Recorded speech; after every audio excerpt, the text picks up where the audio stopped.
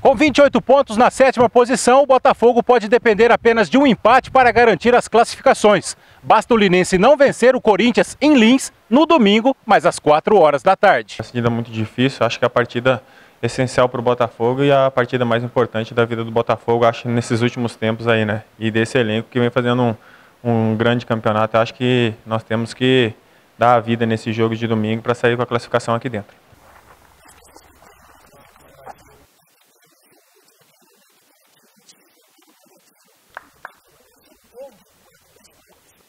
Perdeu, perdeu o carro.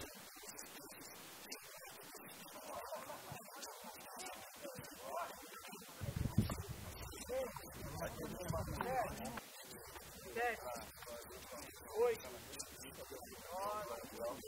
Oi. Nove.